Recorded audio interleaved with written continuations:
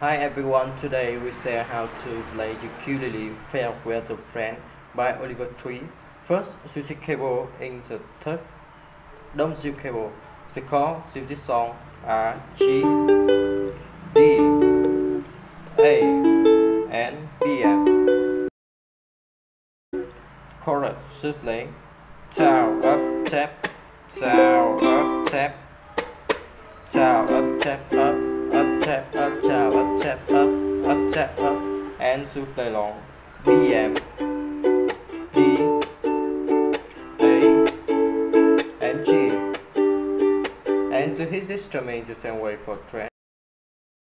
To the first to play down, down, up, down, down, up, up, down, down, down, up, up, down, up, and play along. Down, down, up, up, down, up, down, down, up, up, down, up. On the score. D,